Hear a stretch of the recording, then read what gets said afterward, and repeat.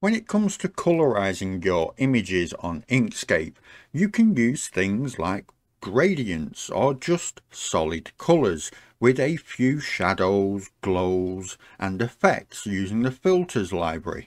However, there is an easier way to get the effects you're looking for by using blend modes.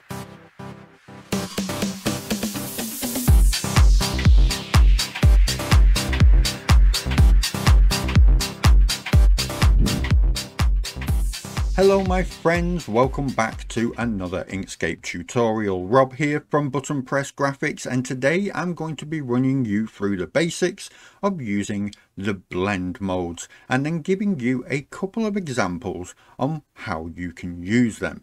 So without further ado, let's get started. Now as you can see on screen, I have just simply got a square with a standard linear gradient going from one corner to another and then some text layered over the top just saying using blend modes using just a standard black color. Now like i said in the intro you can of course open up your fill and stroke menu and add a gradient to this.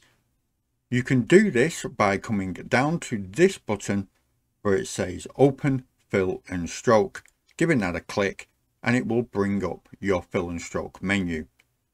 You can then of course add a gradient to it just like this. Or you could even go to the trouble of adding a circle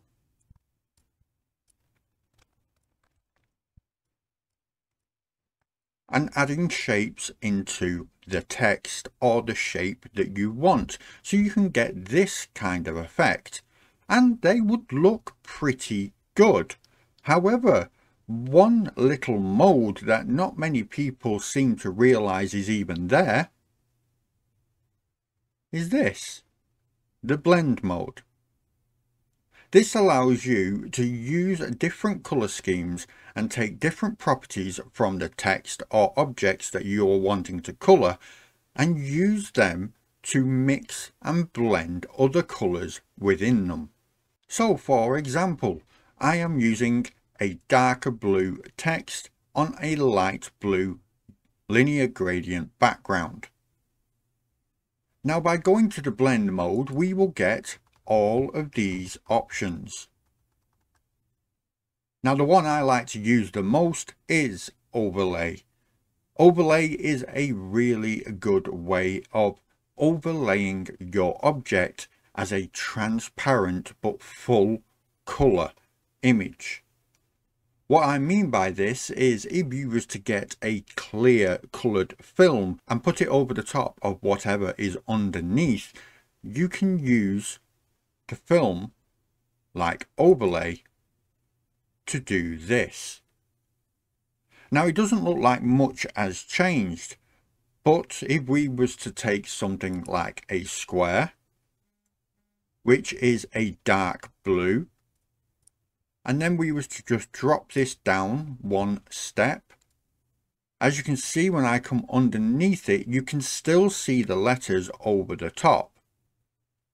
But that is because it is using what is underneath as the basis of what it is going to do. As you can see in this bottom right corner, where it is lighter it seems like it's more transparent and yet when it's up in the top left where it's darker you can see that it has much more saturation. However, if I was to take this text and move it away from the background, you can see it is still a standard solid colour. This, in essence, is how the blend modes work. For example, let's choose a different one. Let's go down to luminosity. So what this one is using is the lights and the darks of the background. As you can see in the top left corner, the text, when it's over the darker backgrounds, it is becoming lighter. But as you get further and further into the light areas of the background, it has become darker and darker And if I was to move up, you can see it a lot more. But again, as you can see as I move off the canvas, it is still a solid blue colour. Now of course you can move and get the exact colour you're looking for. But when it comes to luminosity, it is going to use blacks and whites. So if you turn the text completely black, it looks like nothing has changed. Yet if you put the colour all the way up and then turn it to white, as you can see, it does exactly the same, but in reverse. And that is exactly how the blend modes work. It takes into account what is in the background, what your object or your text is layered over, and then uses that to configure it in a much simpler way. Now as you can see on screen, I have created this graphic here.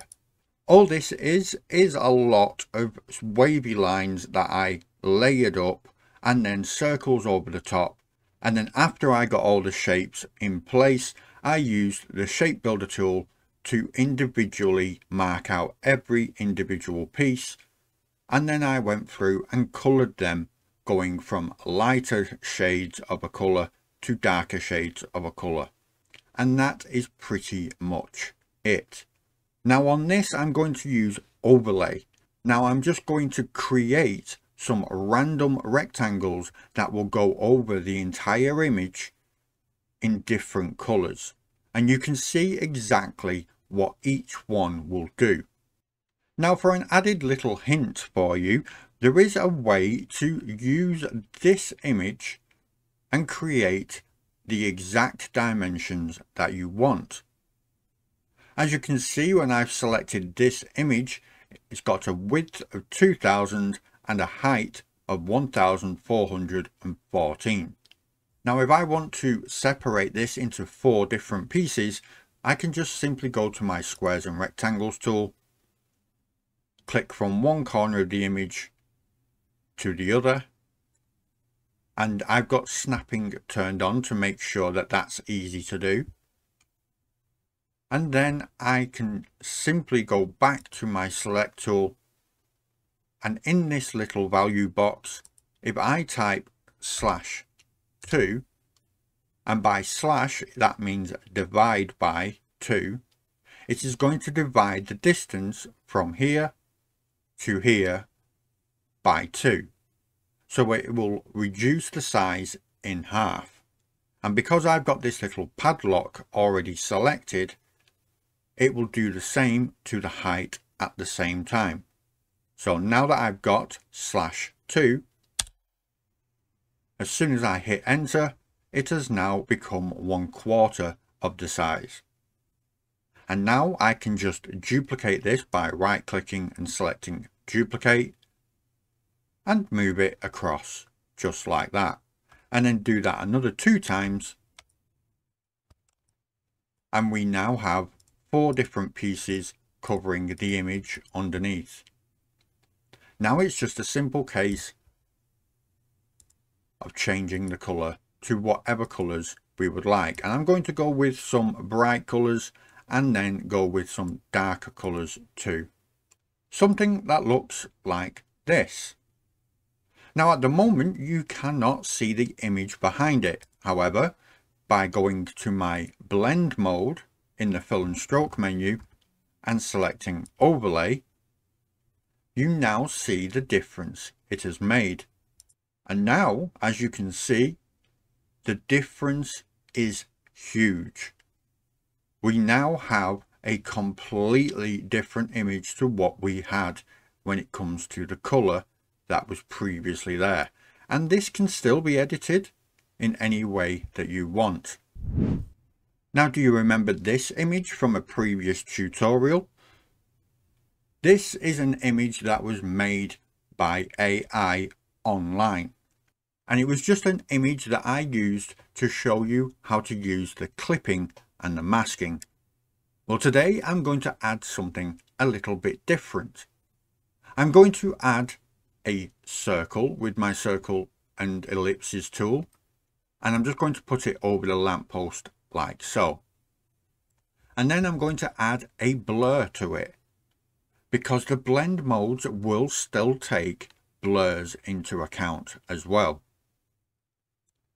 And let's change this to a much warmer colour like a deep orange like this.